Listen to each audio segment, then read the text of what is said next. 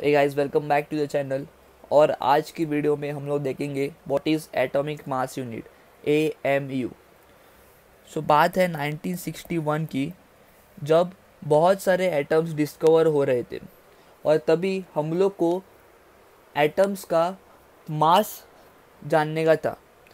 और अभी हम लोग को मालूम है कि weight of one atom is equals to around ten raise to minus twenty six K G but तभी उतने एडवांस इंस्ट्रूमेंट्स नहीं थे कि हम लोग इतने एक्यूरेसी के साथ एटम का मास जान सके। Ten raise to minus twenty six is a very very very small quantity तो फिर तभी हम लोग ने मास कैसे कैलकुलेट किया था इन 1961 हम लोग रिलेटिव मास लेते थे।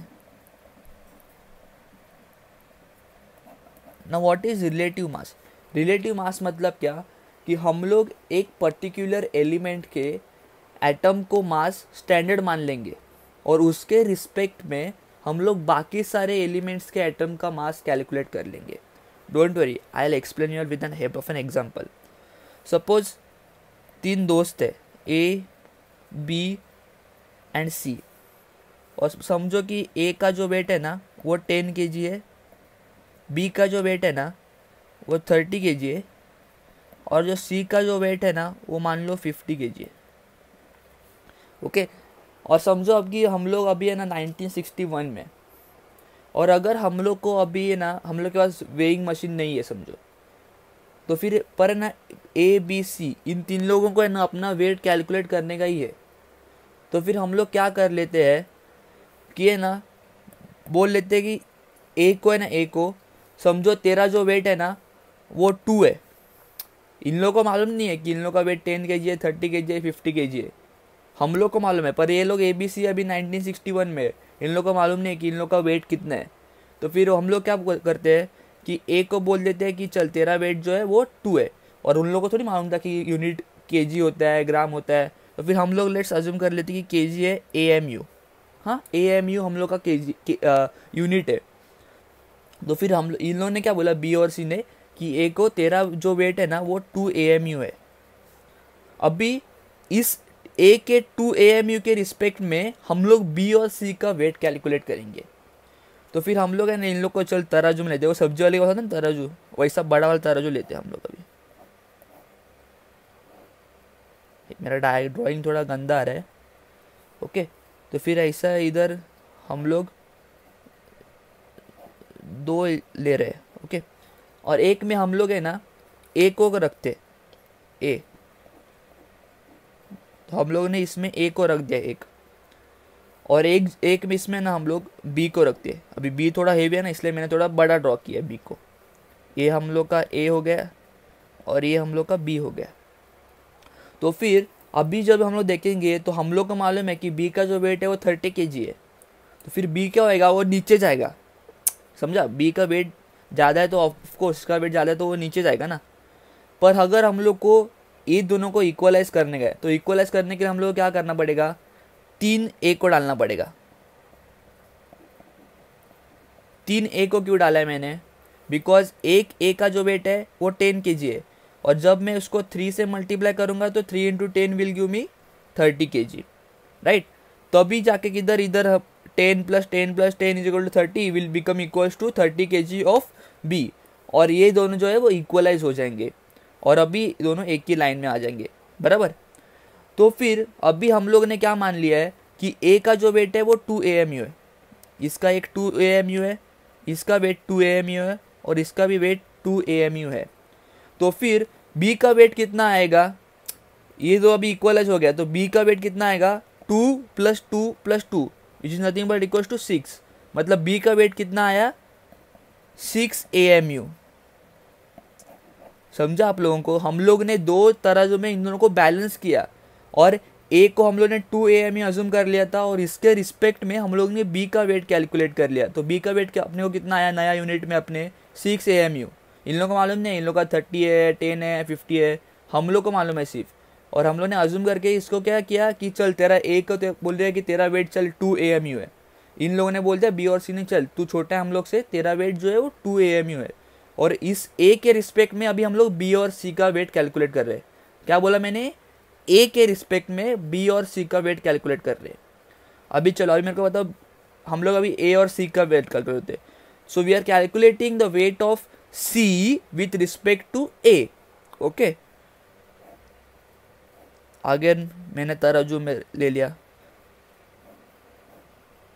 तराजू मालूम है ना ये सब्ज़ी वाले के पास होता है वो।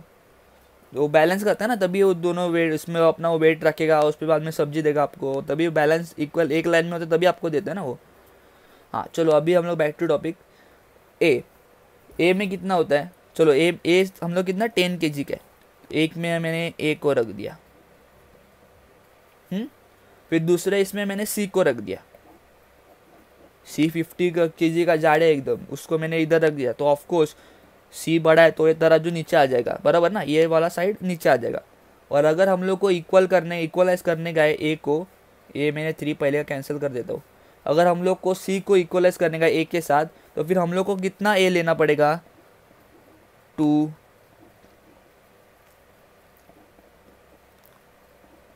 फाइव फाइव लिया। क्यों फाइव लिया? Because five into ten will become fifty and fifty K G of A will become equals to fifty K G of सी फिर इसका कितना है? फिफ्टी है, बराबर? बट हम लोग को ही मालूम है, उन लोग को मालूम नहीं है। अगर उन लोग को मालूम रहता तो ये लोग करता ही नहीं था इतना। हाँ तो फिर एक हम लोग ने पाँच ए लिया है, बराबर? पाँच ए लिया, और एक ए का वैल्यू कितना है? टू ए एम यू उन लोगों ने बोल दिया कि तेरा वैल्यू है टू ए एम यू है। Two plus two plus two तो ये कितना हो गया? फाइव टू हो गया। तो कितना हो गया? टोटल टोटल ये कितना हो गया? टेन ए एम यू बराबर ना? Ten A M U will now become equals to ten A M U. तो फिर सी का वेट कितना आ गया अभी हम लोग को? Ten A M U. इतना समझा आप लोग क्या? हम लोग ने ए का वैल्यू जो है ना वो अजूम कर लिया। हम लोग के पास वेइंग मशीन नहीं था, इसलिए हम लोग ने क्या बोला कि ए बाबा तेरा जो वैल्यू है, वो टू ए एम यू है। और इस टू ए के रिस्पेक्ट में हम लोग ने बी और सी का वैल्यू कैलकुलेट कर लिया। अगर अभी आप आप लोगों को समझा रहेगा ना तो मेरे को बताओ कि समझो मेरे पास डी है। हाँ तो फिर इसका डी का वेट कितना आएगा? समझो अगर डी का जो वेट है ना वो मैंने कंसिडर कर लिया सेवेंटी है। तो फिर डी का weight in terms of A M U कितना आएगा? ए एम यू क्या है? हम लोग ने कंसिडर किया यूनिट ओके तो फिर ए ए एम यू कितना आएगा? वो मेरे को अब आप, आप लोगों से आंसर चाहिए और कमेंट सेक्शन में आप आंसर ज़रूर कर देना ओके और मैं बताऊँगा आपको कि राइट है कि रॉन्ग है। दूसरे कॉपी मत करना। तो फिर ऐसे ही इन लोगों ने क्या किया था? कि 1961 में इन लोगों ने साइंटिस्ट ने सब क्या मीटिंग ऑर्गेनाइज करके क्या बोला था? कि हम लोग है ना, सी ट्वेल्व, मास, रुको अच्छे से लिख देता हूँ। Mass of C twelve. C twelve मतलब क्या होता है? Carbon, mass of atom of C twelve. रुको, वापस लिख देता हूँ। Mass of atom of C twelve C twelve मतलब क्या? कार्बन के तीन आइसोटोप्स है। C twelve C thirteen and C fourteen तो उसमें से मैंने सी ट्वेल्व कंसिडर किया। सी ट्वेल्व मतलब कार्बन का वेट यहाँ पे कितना है? कार्बन में कितना? ट्वेल्व है ओके तो फिर मैंने सी ट्वेल्व वाला आइजोटेप कंसिडर कर लिया। सी थर्टीन और सी फोर्टीन बहुत रेयर होता है। वो जो मतलब अराउंड सी थर्टीन तो अराउंड वन परसेंट होता है और सी फोर्टीन तो ऑलमोस्ट नेग्लिजिबल होता है। सी ट्वेल्व मतलब क्या? The sum of the its atomic mass is twelve okay तो मैंने आपको बाद में आइजोटोप्स वगैरह क्या मालूम पड़ जाएगा? अगर नहीं मालूम पड़ा है तो मैं वीडियो बना दूँगा, उस पर आपको मालूम पड़ जाएगा। तो मैंने mass of atom C twelve अभी आपको मालूम नहीं तो आप सिर्फ़ कंसिडर करना मास ऑफ़ कार्बन तो मैंने mass of atom of carbon को कितना कंसिडर कर लिया? ट्वेल्व ए एम यू मैंने बोल दिया कि जो मास है of carbon is equal to twelve A M U लोगों ने ऐसा इसको कंसिडर कर लिया। जैसे हम लोगों ने देखो इधर ए को कंसिडर कर लिया था टू एम यू वैसे हम लोग को है ना अभी बाकी सब एलिमेंट्स मतलब जो है ना हाइड्रोजन ऑक्सीजन इन लोग सब लोगों का मास कैलकुलेट करने का। इसलिए हम लोगों ने क्या बोल दिया कि कार्बन तेरा जो वेट है, वो ट्वेल्व ए एम यू है। Okay twelve A M U ऐसा बोल दिया।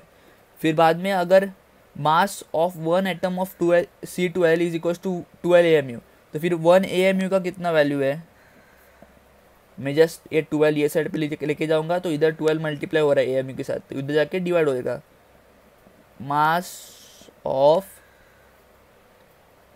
atom of C C12 upon 12 this is the formula which you will finding in your your books समझा भी आप लोगों को ये फार्मूला कैसे आ गया? हम लोग मतलब ये फार्मूला तो इजी था, ये कोई भी रट के जा सकते हैं बट उसके पीछे लॉजिक क्या था कंसेप्ट क्या था, वो इम्पोर्टेंट था। और ये हम लोग ने, ये लॉजिक करके कि बैलेंस करके बैलेंस करके ऐसा हम लोग ने लॉजिक यूज़ करके हम लोग को मिला कि हाइड्रोजन का जो वैल्यू है ना वो it is around one point zero zero eight u अभी मैंने यू की लिखा इधर ए एम यू के लिखा, क्योंकि बाद में उन लोग ने ना ए एम यू को कन्वर्ट किया अनदर यूनिट में। ए एम यू का फुल फॉर्म क्या है? एटॉमिक मास यूनिट ओके तो फिर उन लोगों ने बाद में एटॉमिक मास यूनिट का नाम चेंज कर दिया। क्या कर दिया? यू यू मतलब क्या? यूनिफाइड मास ये लोगों ने चेंज कर दिया और फिर हम लोग को आयन का भी मिला। Something I think around fifty five point eight five u which is nothing but your unified mass तो ऐसा ही इन लोगों ने this is the all concept of molecular अभी आपको समझा मॉलिक्यूल का निकालने का है एच टू का निकालने का है। तो आप एच टू का कैसे निकालोगे? इधर आप एच टू लोगे और कंपेयर करोगे वेट्स और वैसा वेट कंपेयर करके आप कार्बन के साथ कंपेयर करोगे ना, इधर मैंने एक के साथ कंपेयर किया, आप क्या करोगे? आप कार्बन के साथ कंपेयर करोगे। तो वैसे ही कंपेयर करके आप सिंपल है एच टू मॉलिक्यूल से वेट करोगे। दिस इज़ यही तो था atomic mass unit relative mass unit यही था। Now you might be wondering why have we taken carbon as standard? Because carbon first of all it is abundant. What is the meaning of abundant? Which means that it is available easily in nature. The second property is that it is moderately reactive. Now what is the meaning of moderately reactive carbon does not react quickly that it is not highly reactive nor it is less reactive it is in a in between state. The third is property is that less isotopes of carbon are present in nature. I have mentioned earlier that we are considering c12 carbon and carbon has three isotopes c12 c13 and c14 so what is the difference between them is that c14 has one extra nucleon and C sorry C13 has one extra nucleon and C14 has two extra nucleons. As the number of nucleons increases, their mass also increases.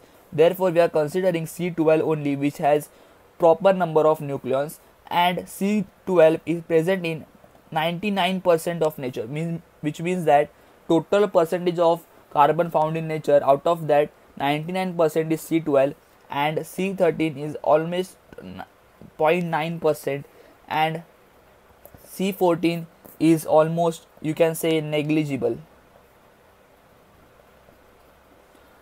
So guys this was all about okay I forgot to mention one more point is that uh, the weight of one AMU was later on found out to be uh, 1.66 into 19 raised to minus 24 grams. So guys if you have liked this video then please do share it with your friends. Do not forget to subscribe to the channel and do comment below the answer and do comment your feedback as well. So guys thanks for watching this video and stay tuned for the next video as well